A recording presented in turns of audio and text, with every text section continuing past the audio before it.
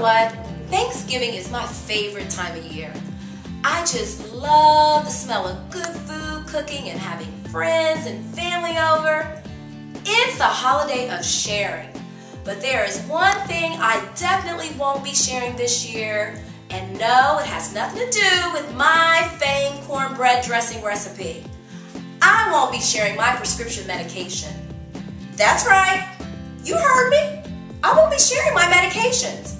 While that might sound like a weird thing to declare, did you know that almost 60% of people who abuse prescription drugs get them from a friend or family member for free? Not only is this illegal, but it can be dangerous. That prescription was written with you, your needs, and any other medication you're taking in mind, not anyone else.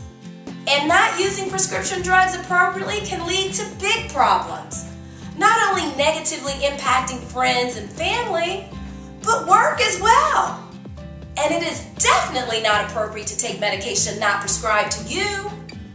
The good news is that there are two ways to make sure you can keep your meds to yourself.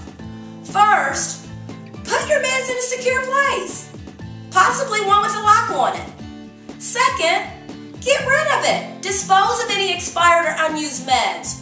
Once you've recovered from your ailment, get rid of them. So this Thanksgiving, won't you join me in passing the mashed potatoes, serving up the green beans and turkey, and committing to keeping your medications to yourself? And maybe keeping that extra sweet potato or pumpkin pie hidden in the pantry too.